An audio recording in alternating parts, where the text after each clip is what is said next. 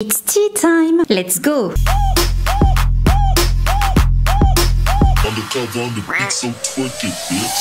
Bonjour, bonsoir tout le monde, je suis ravie de vous retrouver aujourd'hui pour une nouvelle vidéo et aujourd'hui nous allons parler de l'actrice Blake Lively ça fait euh, ça fait très longtemps que vous me demandez une vidéo euh, spéciale sur Gossip Girl, la série. Ça va arriver mais franchement, il y a quand même euh, pas mal d'acteurs dans cette série. Je vais en relever trois principaux donc à savoir Blake Lively, Leighton Meester et également Penn Badgley. Je voulais vraiment faire euh, des vidéos à part sur euh, ces trois personnes-là parce que finalement j'ai l'impression que c'est celles sur lesquelles il y a plus de choses à dire. Donc ça va s'étaler sur plusieurs semaines. Il y a une vidéo couple aussi qui est prévue et pour finir, je ferai un week-end spécial Gossip Girl où le samedi, comme un petit peu d'habitude, hein, je ferai une vidéo sur tous les autres acteurs et le dimanche, ce sera une vidéo consacrée donc à la série, aux coulisses de la série. Donc voilà, je vous avais promis, hein, je vous avais dit depuis longtemps que c'était prévu. Voilà. Alors, nous allons démarrer tout de suite avec notre cher Blake Ellender Brown Reynolds désormais. Hein. Mais bon, Blake Lively, qui est né le 25 août 1987 à Los Angeles. Grande fratrie, hein, elle a cinq euh, frères et sœurs. Ses parents, alors on a l'acteur Ernie Lively qui est décédé en 2021 et on a également euh, sa mère Hélène qui est agent artistique. Donc euh, aussi bien les parents que les frères et sœurs, tous travaillent dans le milieu de l'industrie. Hein. donc tous font bah, soit du cinéma, de la télé ou euh, du théâtre. Donc forcément, Blake, est-ce qu'elle avait un petit peu le choix? Pas vraiment. Déjà, au lieu de la confier à une nounou,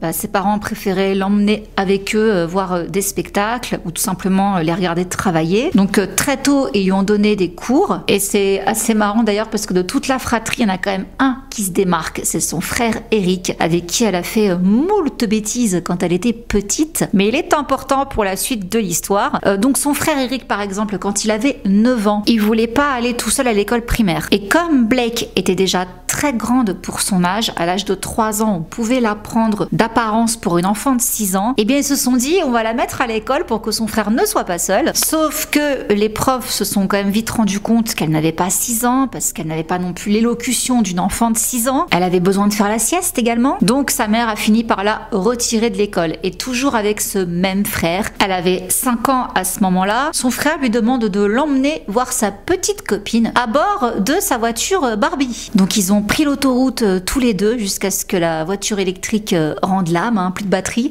Donc ils ont été récupérés euh, sur le bord de la route. C'est assez flippant comme anecdote, je trouve. Et encore un autre truc avec ce, frère, décidément. Blake a été bannie, interdite d'aller à Disneyland pendant un an, alors qu'elle y allait très souvent. Ses parents l'emmenaient au moins deux fois par semaine. Oui. Et bah, s'est fait bannir parce qu'un jour il a été avec son frère Eric, hein, toujours lui, sans payer. Donc ils se sont fait choper et elle a été donc euh, interdite d'accès pendant un an à Disney. Et ce frère, pourquoi je vous raconte euh, toutes ces petites anecdotes, c'est parce qu'il va avoir euh, une importance cruciale en fait dans la carrière euh, de Blake. Je vous euh, reparle de ça juste après. Petite parenthèse sur le fait qu'elle a commencé à jouer, elle a fait son premier film, elle avait 11 ans. C'était grâce à son père, c'était le film Sandman. Donc c'était son père qui le réalisait. Par la suite, elle, elle se focalisait plus sur ses études. Donc c'était une adolescente très active au lycée. Elle était présidente de sa classe. Elle est également pom-pom girl. Et elle a participé à la chorale du championnat. Et elle, elle rêvait d'intégrer l'université de Stanford. Seulement là, son frère Eric, ils vont faire un voyage ensemble en Europe. Il va discuter avec elle à propos de son avenir, ce qu'elle compte faire et il va lui conseiller de se lancer en tant qu'actrice. Donc il va demander à ses propres agents à lui hein, de trouver des auditions à passer pour Blake et il va justement grandement la pousser à passer une audition pour le film Quatre filles et un jean. Nous sommes donc en 2004. Elle va décrocher le rôle de Et elle va même décrocher une nomination aux Teen Choice Awards alors qu'elle n'a que 18 ans pour ce film. À la même époque, elle va également tourner un autre film qui s'appelle Simon Says où elle va retrouver un ami d'enfance qui est aussi acteur qui s'appelle Kelly Blatz et ils vont se mettre en couple de 2004 à 2007. 2007, année euh, justement très importante hein, pour Blake, elle va décrocher le rôle de Serena van der Woodsen dans la nouvelle série Gossip Girl. Alors ça devient très vite euh, une hit girl, hein. toutes les jeunes filles s'inspirent de ses looks, on va la voir euh, à tous les défilés, enfin là elle représente quand même euh, la new-yorkaise de l'Upper East Side en vogue, donc forcément elle a tapé dans l'œil des créateurs. La série va beaucoup marcher, donc elle va même être nominée pour les Teen Choice Awards. Elle reçoit le prix de la révélation féminine ainsi que celui de la meilleure actrice. Et pourtant, elle a failli ne pas jouer le rôle de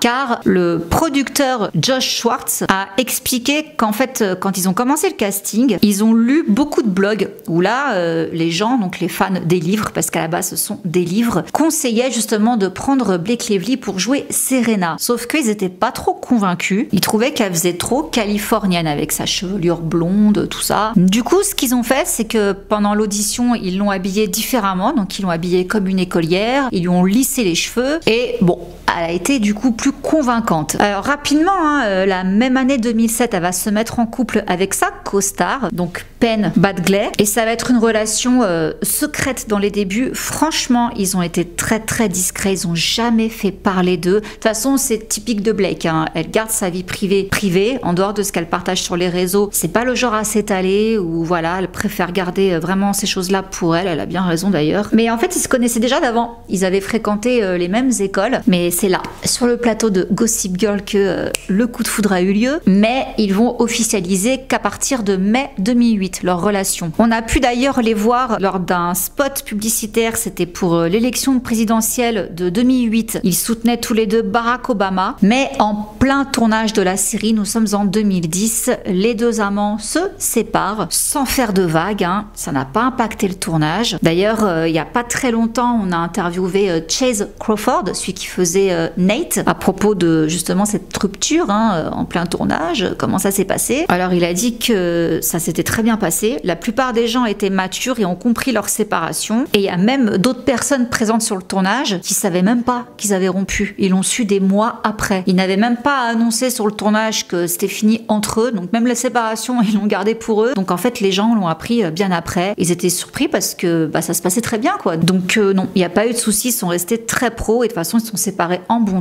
Donc parallèlement à Gossip Girl, on peut retrouver Blake Lively sur grand écran pour la suite de Quatre filles et un jean, qui va moins bien marcher que le premier, mais également dans le film New York I Love You, à côté d'une belle brochette d'acteurs, hein, Nathalie Portman, euh, Rachel Bilson, Bradley Cooper, donc c'était calqué sur le même modèle que euh, Paris Je t'aime, mais ça a moins marché. En 2009, elle va jouer dans un film qui s'appelle Les vies privées de Pipali, et c'est grâce à ce film qu'elle va attirer la l'attention de Ben Affleck qui va la caster dans son film The Town en 2010. Donc c'est lui qui l'a dirigé. Mais entre-temps, en 2008, on va la voir dans complètement autre chose. Elle va apparaître dans un épisode de The Martha Stewart Show, car c'est l'idole de Blake. Et là, elle parle de son amour pour la cuisine. Donc elle est très gourmande et elle adore cuisiner. Et ça, c'est quelque chose qui revient quand même assez souvent. Elle est fan de chocolat, par exemple. Pour ses 18 ans, le thème, c'était euh, Charlie et la chocolaterie donc elle va même participer en 2010 à un atelier euh, sur mesure au cordon bleu à Paris. Et elle déclare d'ailleurs toujours en 2010 que lorsqu'elle voyage, elle suit toujours des cours de cuisine pour s'immerger dans la culture locale. Donc elle va commencer à parler du fait qu'elle aimerait un jour devenir restauratrice,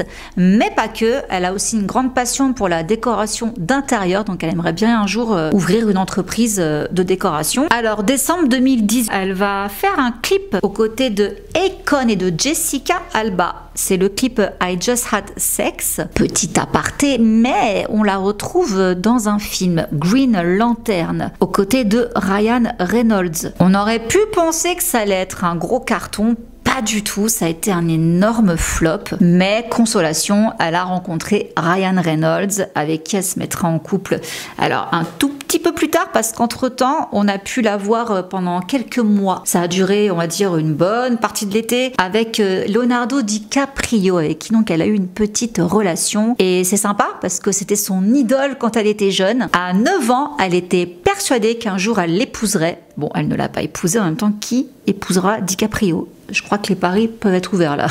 Tout le monde se demande le jour où ce gars-là va se poser. Moi, la première, hein, je pensais que je me marierais avec lui, euh, trop pas. Mais bon, en tout cas, elle est sortie avec. Moi, pas. en même temps, je suis pas Blake et je suis pas actrice, ni mannequin. Bref, voilà, c'était mignon. Elle a réalisé un rêve de petite fille, mais au bout de 5 mois de relation, c'est terminé. Donc, ils se séparent en octobre et c'est là qu'elle s'affiche donc avec Ryan Reynolds. Ils vont se marier en catimini le 9 septembre 2012 près de Charleston en Caroline du Sud sur une ancienne plantation où il y avait des esclaves. Alors ça fait polémique toute cette histoire mais je vous ferai une vidéo à part, justement, sur le couple Blake Lively, Ryan Reynolds. Il y a quand même des petites choses à dire. Hein.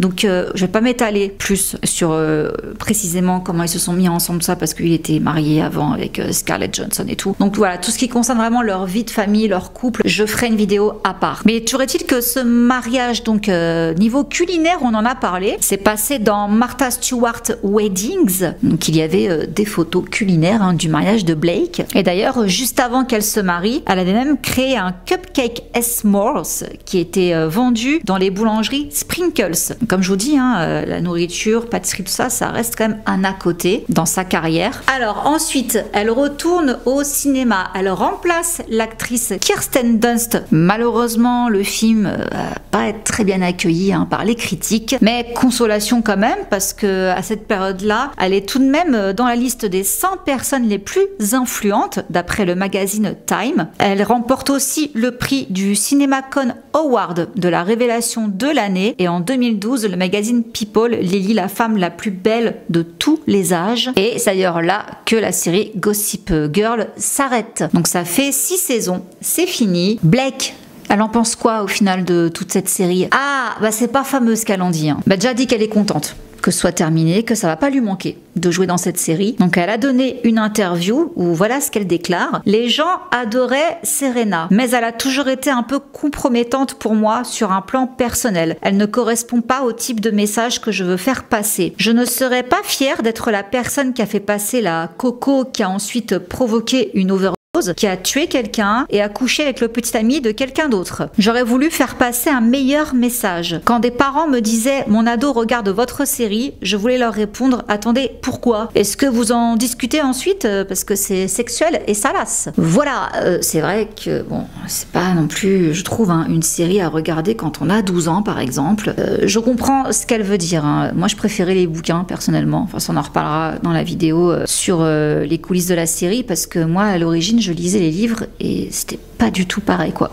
Bref, je vous raconterai ça un autre jour. Et en plus, Blake n'est pas du tout comme ça dans la vraie vie. C'est une fille saine, elle fait du sport, euh, elle boit pas, fume pas, donc euh, rien à voir avec Serena. Hein. Bref, 2012, donc bah, elle poursuit son chemin. Elle va jouer dans le film Savage d'Oliver Stone, où là, pareil, elle remplace encore une actrice, décidément, elle remplace Jennifer Lawrence. Bon, comme je vous disais tout à l'heure, par rapport à Gossip Girl quand même, hein, euh, elle a été repérée par les créateurs de mode, etc. Bon, bah justement, elle va devenir égérie pour Chanel. Ce sera pour les sacs Mademoiselle. Elle va aussi être égérie pour le parfum Gucci Première et également ambassadrice pour L'Oréal Paris. Et là donc on est rendu en 2013. Elle fait une campagne pour Gucci qui vise à collecter des fonds et à sensibiliser aux problèmes des femmes dans les domaines de l'éducation, de la santé et de la justice. Et voilà, petite parenthèse hein, là-dessus. Blake, elle travaille beaucoup pour sensibiliser le public euh, aux enfants disparus et exploités ainsi qu'aux efforts continus des forces de l'ordre en leur faveur. Donc voilà, petite parenthèse comme sur les actions de Blake. 2013, je vous disais tout à l'heure que Blake adorait la décoration, et eh bien justement, on va la voir dans le magazine Elle Décore, où elle raconte ses expériences de conception d'un four qui s'appelle La Cornue, qui est personnalisé pour sa maison, et elle va même filmer un segment de cuisine pour le site web de Vogue, où elle montre comment préparer une pâte au brie. Petite parenthèse gustative on arrive en juillet 2014. Alors là, ça fait un an qu'elle en parle de ce projet. C'est pas la restauration, c'est pas la décoration d'intérieur, mais quoi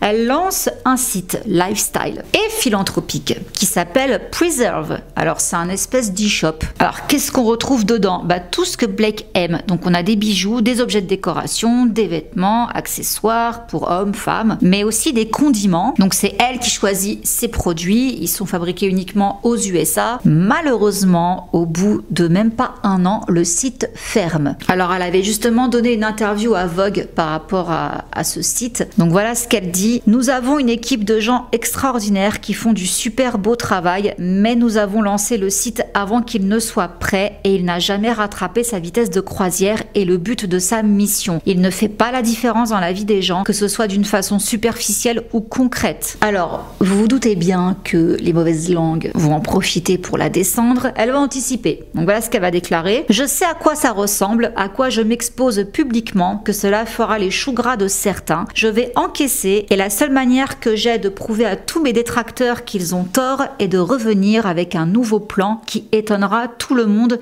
et j'ai ce plan. Donc elle promet de revenir avec un nouveau projet et elle le fera. Je vous en parle après. Heureux événement le 16 décembre 2014. Elle et son chéri accueillent une petite fille prénommée James et là elle va devoir se dépêcher de retrouver une silhouette svelte car elle va tourner le film Instinct de survie dix mois seulement après la naissance de sa fille et tous ses efforts ont payé. C'est un tournage très très physique car elle a été nominée aux Jupiter Awards dans la catégorie meilleure actrice. 2015, elle tourne dans un film, je l'ai adoré. Je crois que c'est non, je crois pas. C'est mon film préféré avec Blake Lively, Adaline. Si vous n'avez pas vu Adaline, franchement regardez-le, il est il est génial et elle joue trop bien dans ce film. Il y a Harrison Ford qui joue dedans. Je sais plus comment s'appelle le, le, partenaire principal parce que Harrison Ford n'a pas un premier rôle, mais quand même, il a un rôle, un second rôle important, je trouve. Génial. Bah d'ailleurs, oui, le film a bien marché. Hein. Troisième place du box-office américain dès sa sortie. Du coup, elle a eu le Saturn Award de la meilleure actrice et on la retrouve tout de suite après dans le film de Woody Allen, Café Society. Et là, donc, on arrive au Festival de Cannes pour la promo de ce film. Il va y avoir une polémique concernant Blake Lively. Alors vous me direz ce que vous en pensez. Elle va poster un cliché qui a été euh, pris d'elle donc euh, lors euh, bah, du tapis rouge quoi au festival de Cannes. Donc elle va poster ce cliché sur les réseaux sociaux. Donc en fait c'est deux photos d'elle. Il y en a une on la voit de face, une on la voit de dos. Et en légende elle a marqué visage de Los Angeles, popotin d'Oakland. Et ça en fait c'était une référence à une chanson. Donc c'est le morceau Baby Got Back. I Like Big Butts du rappeur euh, Sir Mix-a-Lot qui était sorti en 92. Donc dans cette chanson, le rappeur évoquait son amour des fesses euh, rebondies, comme on peut en trouver dans la ville d'Auckland aux États-Unis. Et alors je ne savais pas, mais apparemment euh, c'est aussi la ville où il y a une forte population afro-américaine. Du coup, le fait que Blake poste ça, visage donc californien, Los Angeles, ça, popotin d'Auckland, bah les gens trouvaient ça raciste. Alors voilà ce que les internautes tweetait hein. Nouvelle journée, nouvelle femme riche et blanche qui utilise le corps des femmes de couleur comme une punchline ou une marchandise. Euh, alors ça n'a l'air de rien comme ça, hein, mais ça a fait le tour de la toile. Blake a même dû en parler un mois plus tard. Elle est revenue donc sur ce bad buzz en disant qu'elle ne voulait offenser personne. Bien au contraire, elle rendait justement euh, hommage euh, à ses formes, quoi, à ses courbes. Et en plus, pour info, au passage, elle était enceinte. Donc voilà ce qu'elle déclarait. C'est injuste ce qu'on voit dans les médias en permanence. Mon apparence sur un tapis rouge n'est pas mon apparence de tous les jours. Même dans cette robe, j'avais un corset très serré qui arrangeait bien ma silhouette. Quand tu rentres chez toi et que tu te regardes dans la glace, tu te demandes mais pourquoi ces gens ressemblent à ça? Quand je rentre chez moi, que j'enlève ma robe et que je me regarde dans le miroir, je ne ressemble pas à ça non plus. C'est marrant de s'habiller et d'être belle sur un tapis rouge, mais ce n'est pas représentatif. Donc voilà, elle assume euh, pleinement euh, son corps de femme enceinte, euh, son petit popotin arrondi, et c'était juste une petite boutade en plus, euh, c'était pas la seule à avoir fait justement une boutade par rapport aux paroles de cette chanson, pas la seule femme blanche en tout cas. Il y avait aussi Katy Perry et euh, Chloé Kardashian qui avaient aussi fait euh, un petit jeu de mots avec cette chanson-là. Donc personne n'en avait été plus offusqué que ça. Bref, bon, en tous les cas, elle va accoucher donc de ce deuxième enfant encore une petite fille, Inès. Ce sera fin septembre. Et à la même période, on la retrouve dans un autre film qui s'appelle All I See Is You. Particulier comme film. Hein. Euh, dedans, elle est aveugle et elle recouvre la vue. Et du coup, ça part en cacahuète euh, dans son couple. C'est très spécial. Je sais plus s'il a été tourné au Japon ou en Corée je, sais plus. Ça se passe pas aux States en tout cas, mais euh, pas mal. Ambiance pesante.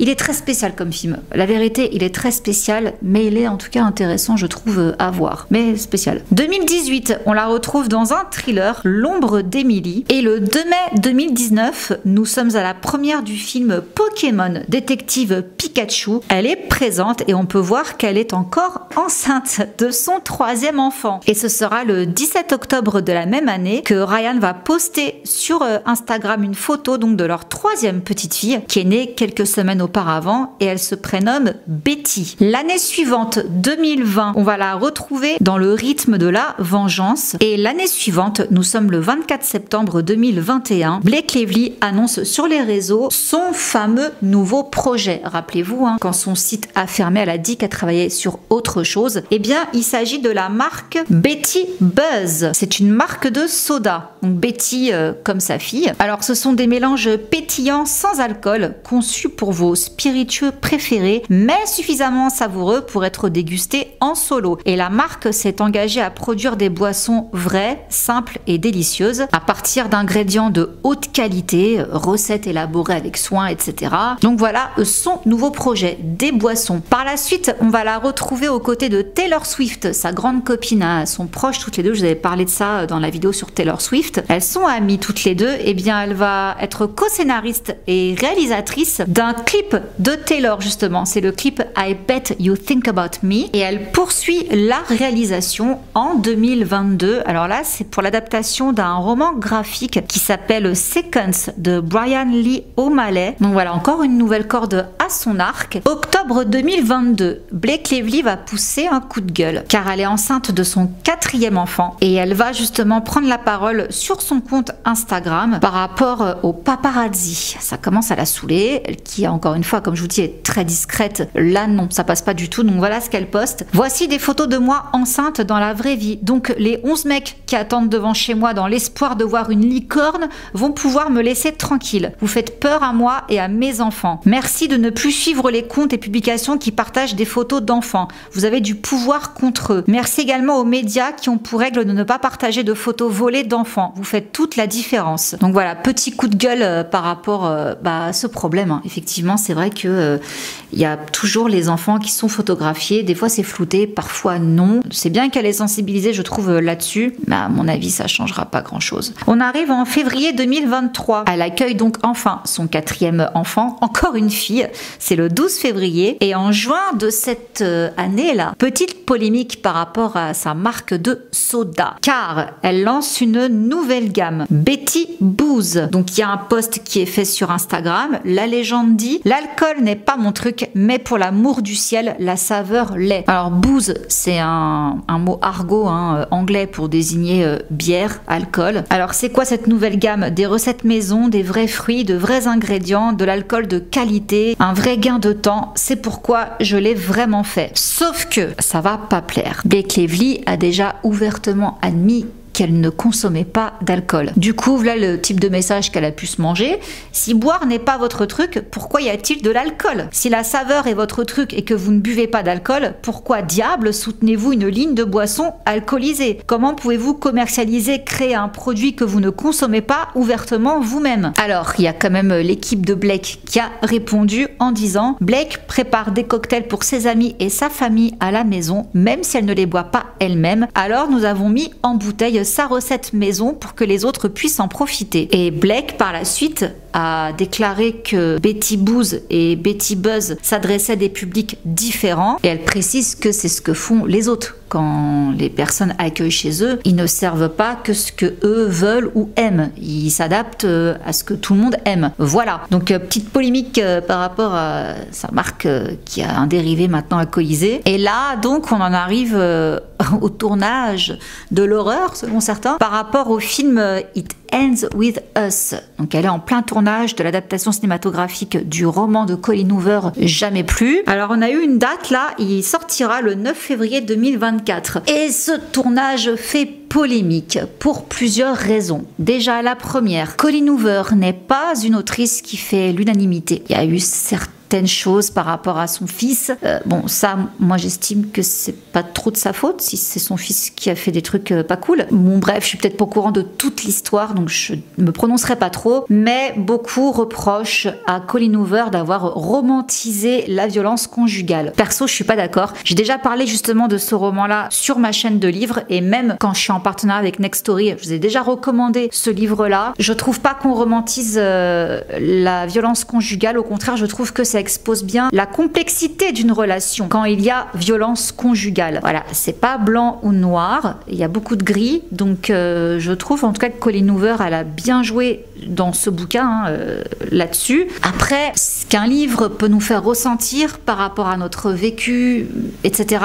Voilà, après, c'est un peu personnel, mais je ne trouve pas en tous les cas que Colline a, romantisé euh, tout ça. Je trouve qu'au contraire, c'était très bien foutu. J'avais m'étais épanché d'ailleurs beaucoup là-dessus dans encore une fois euh, ma chaîne livresque. Donc bon, moi c'est pas ça qui me chagrine personnellement. Il y a une autre polémique, c'est sur le fait que Blake Lively n'était pas du tout, pas qu'elle, hein, les trois acteurs choisis ne correspondent pas au personnage. L'âge déjà ne correspond pas. Blake Lively a 35 ans, le personnage de Lily Bloom, il en a 23. Je dis pas que Blake Lively ne peut pas passer pour une femme de 23 ans, mais oh là là, écoutez, j'ai vu les photos du tournage, les cheveux, les costumes, c'est une catastrophe. Voilà. Il faut vraiment avoir lu le livre pour comprendre la catastrophe du casting et la catastrophe euh, annoncée par rapport aux quelques photos de tournage qu'on a vues. Ça correspond pas du tout à la Lily qui est décrite dans le roman Jamais plus. Pas du tout. Donc ça fait peur. Pareil pour les deux personnages masculins, je les voyais pas du tout comme ça et je sais que je ne suis pas la seule. Donc ça n'a rien à voir avec Blake Lively. C'est juste que là, c'est une erreur de casting pure et dure. Et une erreur de costume, une erreur de coiffure, une erreur de beaucoup de choses. Bon, moi, perso, je suis sceptique. Hein. Euh,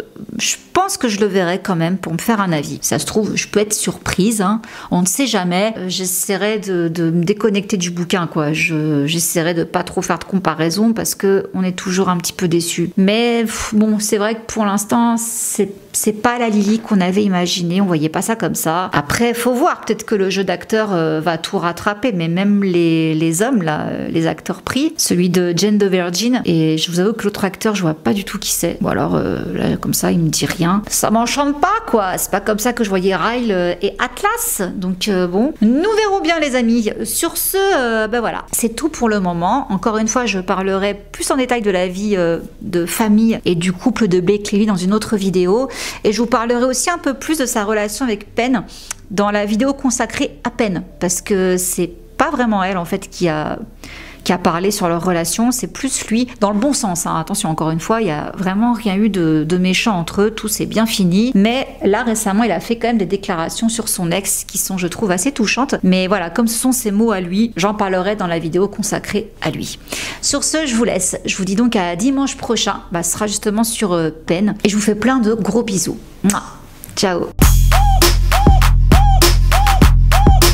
Undercover on the beat, so twerk it, bitch. Like.